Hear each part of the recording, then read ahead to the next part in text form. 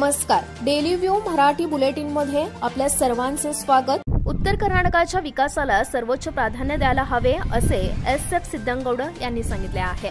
सतरा फेब्रुवारी रोजी होणाऱ्या विधानसभा अर्थसंकल्पीय अधिवेशनात मुख्यमंत्री बसवराज बोम्मई कर्नाटक सरकारचा दोन हजार तेवीस चोवीसचा अर्थसंकल्प सादर करतील अशी उत्तर कर्नाटकातील जनता आणि विशेषतः बेळगावच्या जनतेच्या अपेक्षा आहे.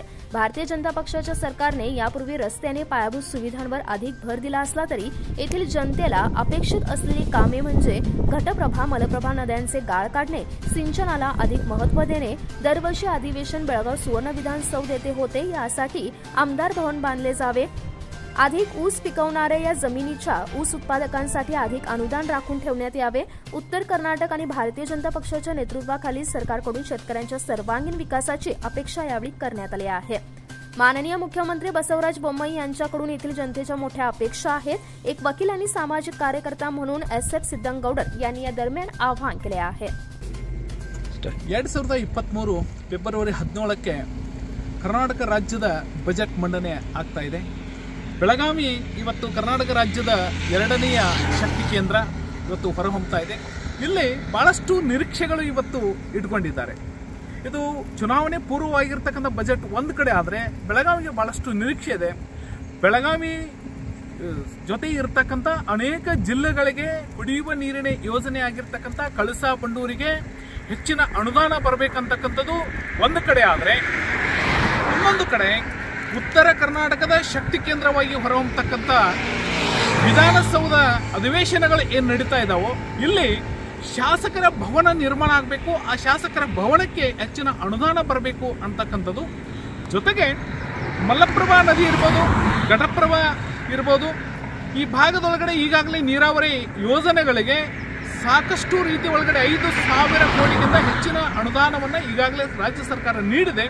ಇನ್ನೂ ಆ ನದಿ ಒಳಗಡೆ ಇರತಕ್ಕಂತಹ ಹೋಳನ್ನು ಎತ್ತುವುದರ ಜೊತೆಗೆ ಇನ್ನು ಸಣ್ಣ ಪುಟ್ಟದಾಗಿರ್ತಕ್ಕಂಥ ನೀರಾವರಿಗಳಿಗೆ ಏನು ಯೋಜನೆಗಳಿದ್ದಾವೋ ಆ ಯೋಜನೆಗಳಿಗೆ ಬರಬೇಕು.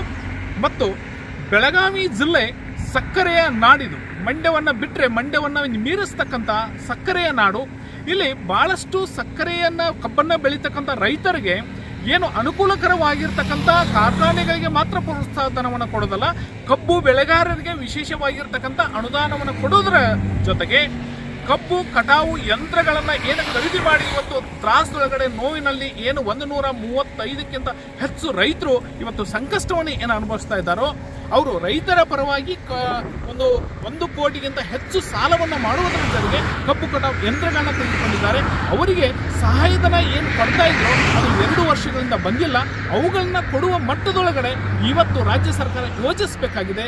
ಕಬ್ಬು ಬೆಳೆಗಾರರು ಬದುಕಬೇಕಂತಂದ್ರೆ ಕಬ್ಬು ಕಟಾವು ಯಂತ್ರಗಾರರು ಕೂಡ ಬದುಕಬೇಕು. ಈ ಮೂರು ಬಹಳಷ್ಟು ಪ್ರಮುಖವಾಗಿರ್ತಕ್ಕಂಥ ಬೇಡಿಕೆಗಳು ಇದರ ಜೊತೆಗೆ ಇನ್ನೊಂದು ಏನು ಅಂತಂದ್ರೆ ಈ ಭಾಗದೊಳಗಡೆ ಇರ್ತಕ್ಕಂಥ ಸಾಕಷ್ಟು ಶೈಕ್ಷಣಿಕವಾಗಿರ್ತಕ್ಕಂತಹ ಶಾಲೆ, ಕಾಲೇಜುಗಳು ಸರ್ಕಾರಿ ಶಾಲೆ ಕಾಲೇಜುಗಳು ಹೆಚ್ಚಿನ ಪ್ರಮಾಣದಲ್ಲಿ ಮಂಜೂರಿ ಆಗಬೇಕು.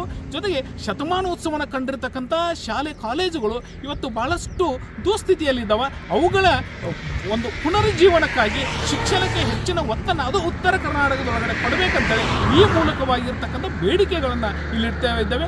ಈಗಾಗಲೇ ರಾಜ್ಯ ಮತ್ತು ಕೇಂದ್ರ ಸರ್ಕಾರಗಳು ಹೈವೇಗಳಿರ್ಬೋದು ರಸ್ತೆಗಳಿರ್ಬೋದು ಸಾಕಷ್ಟು ಅನುದಾನಗಳನ್ನು ಕೊಡ್ತಾ ಇದೆ. ಅದರ ಜೊತೆಯಾಗಿ ಇವುಗಳು ಈ ಭಾಗದ ಅತ್ಯಂತ ನಿರೀಕ್ಷೆ ಒಳಗಡೆ ಇರ್ತಕ್ಕಂಥವು ಇವುಗಳು ಬರಲಿ ಅಂತೇಳಿ ಬರಲಿ. ಬರುವಂತ ಬಜೆಟ್ ಉತ್ತರ ಕರ್ನಾಟಕ ಪರವಾಗಿರ್ತಕ್ಕಂಥ ಉತ್ತರ ಕರ್ನಾಟಕದ